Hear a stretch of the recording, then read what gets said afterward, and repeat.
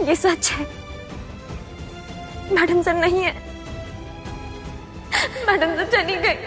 Madam sir कभी नहीं आएगी। वो हमें कभी नहीं दिखेंगी।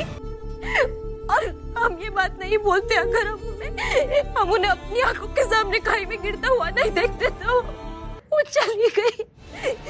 गौर अपनी आँखों के सामने खाई में गिर रही थी? हमारे सामने मर गई। हम कुछ कर नहीं पाए बस चले गए मैडम सर नहीं है मैडम सर अब नहीं आएँगे हमारे आँखों के सामने कभी भी